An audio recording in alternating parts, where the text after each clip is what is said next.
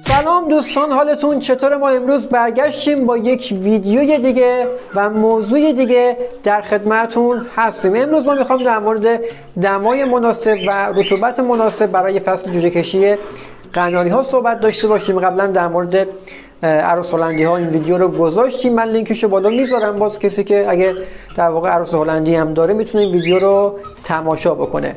قبل از اینکه ادامه ویدیو رو با هم داشته باشیم حتما عضو channel ما بشید و subscribe بکنید حمایت بکنید که بهتر و بیشتر دیده بشیم و ما هم انرژی بگیریم برای شما عزیزان ویدیوهای بهتری بسازیم. دمتون گرم.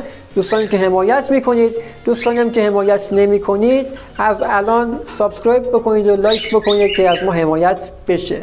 خیلی خیلی چاکرتونیم ما. بریم ادامه این ویدیو رو با هم ببینیم.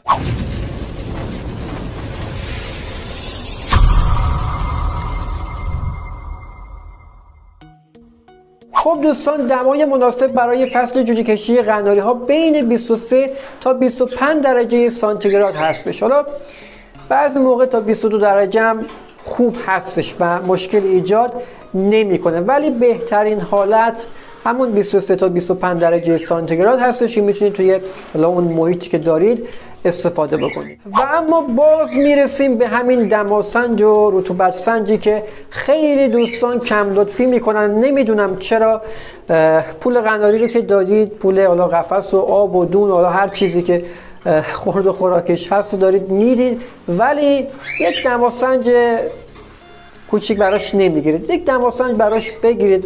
پیشنهاد می‌کنم که دیگه دارید می‌گیرید یک دماسنج رطوبت سنج بگیرید که دو کاره باشه و دیجیتال باشه. من نمونهش رو اینجا براتون معرفی می‌کنم. من خودم توی سالن دو تا از اینا دارم. حالا علاوه بر اتوماسیون. خیلی هم خوب و دقت خوبی داره. و فکر نکنید که توی دیجی کالا مثلا نظرات منفی می‌بینید. بعضی دوستان طرز استفاده و تنظیمش رو در واقع اشتباه انجام میدن و به مشکل می‌خورن. و پیشنهاد می‌کنم حتما از سنسور داخلیش استفاده بکنیم. سنسور بیرونیش آره یکم خطایی داره ولی سنسور داخلیش خیلی خیلی بهتره و خودم هم دارم استفاده می‌کنم. یک سمت این وره یک سمت هم این سمتی که شما نمی‌بینید هستش و یه دونم که برای اتوماسیون هستش. اینها اختلاف دمای آنچنان نداره شد یک نیم درجه ای فرق بکنه. پس حتما این دماسنج رطوبت سنج رو بگیرید که بدونید دمای محیط پرندهتون چنده. دوستان دقت داشته باشید که دمای نامناسب اینکه دما خیلی بالا بره باعث لک قناری ها میشه و اینکه اگه پرنده روی تخم خوابیده ممکنه از روی تخم بلند بشه. تخما خراب بشن و همچنین اگه دما خیلی پایین بیاد از دوباره تخما خراب بشن. پس این موارد رو باید دقت داشته باشید که در واقع تنظیم دماتون اوکی باشه. حالا اگه اختلاف دمای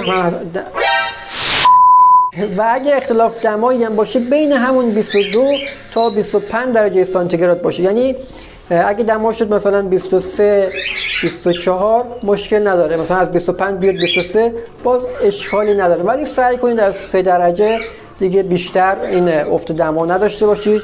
یا حالا افزایش دما یعنی از 25 بیاد 29 پرندهتون ممکنه دچار لک تو لک بشه و بیاد پر بریزه.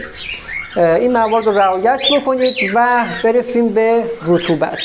رطوبت مناسب برای قناری ها 40 درصد هستش در فصل جوجه کشی که حالا اون تخمون ها متولد بشن یعنی دو سه روز آخر.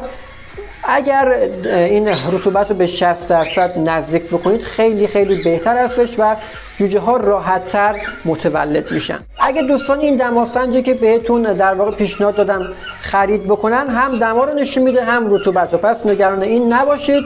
دو کاره هستش. و اینکه اون دوستانی که توی محیط خشک زندگی می‌کنن مثل استان تهران یا حالا مناطق دیگه که اگه خشک هست محیطشون اینها رطوبت پایینی دارن و حتما باید بیان از دستگاه های بخور سرد استفاده بکنن که اون از دیجیکالا می‌تونن تهیه بکنن که رطوبت بالا ببرن.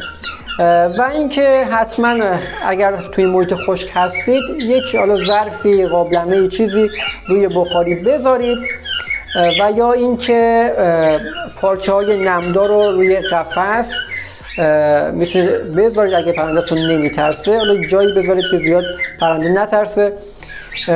اینها یک مقداری ببینید یک مقداری کمک می‌کنن. نه اینکه مثلا رطوبتتون مثلا 20 درصده برسونه به 40 درصد 50 درصد.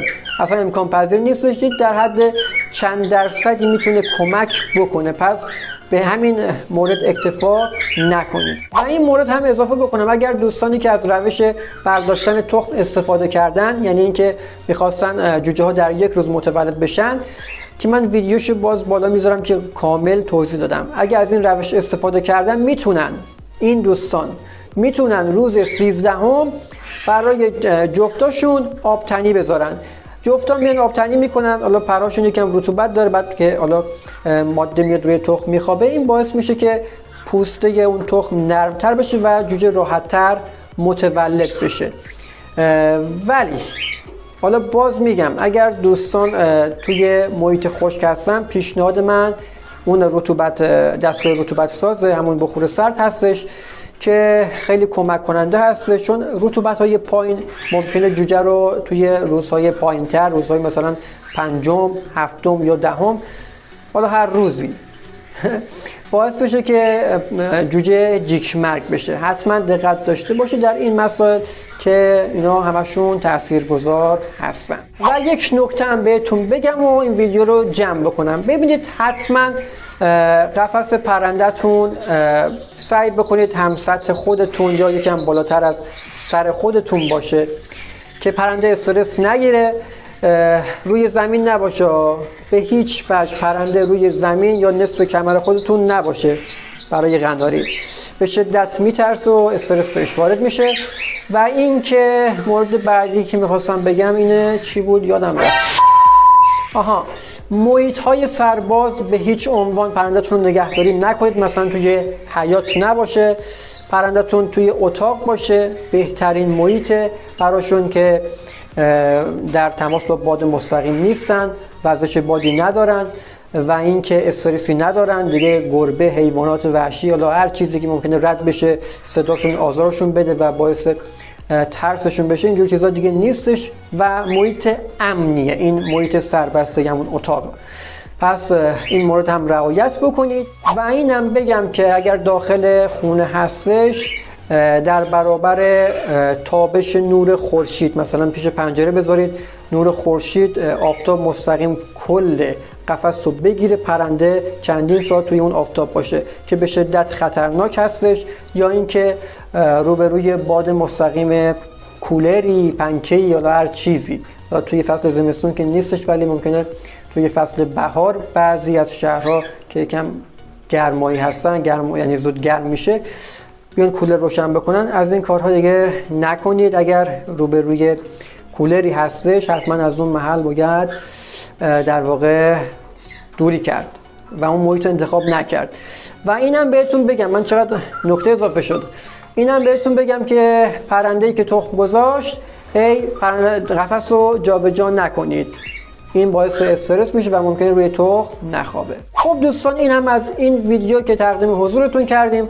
امیدوارم مفید بوده باشه براتون. حتما اگر عضو کانال ما نیستید سابسکرایب بکنید و زنگوله کنارش هم بزنید که از ما حمایت بشه.